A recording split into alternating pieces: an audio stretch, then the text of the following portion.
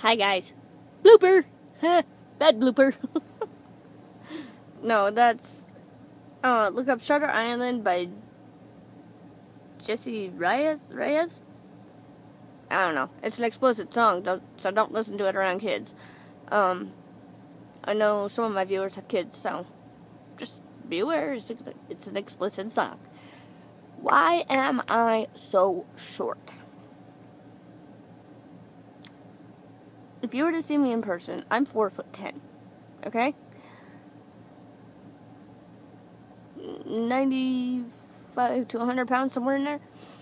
Um, I have something called a chromosome 17p deletion. Basically, the chromosome that makes you guys grow, I don't have. Um, for me to even be able to get to 4 foot 10, I was on shots every day. It's a growth hormone, HGH, human growth hormone, um, to grow, basically.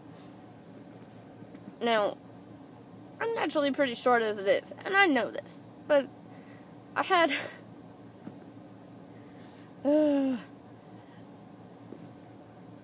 Yeah. So every now, when like if I have to go pester somebody, bother somebody, whatever, I'll knock on. I live in an RV park. I'm not gonna say which one, but I live in an RV park. As you guys know, I live in an RV. I don't know if I've made that clear yet, but I live in an RV um, if I have to go knock on somebody's door, I'll knock on the door. I'm knocking on my book over here. Um, who is it? And if you're a child, plug your ears. Who is it? Short shit. you can unplug your ears now. Um,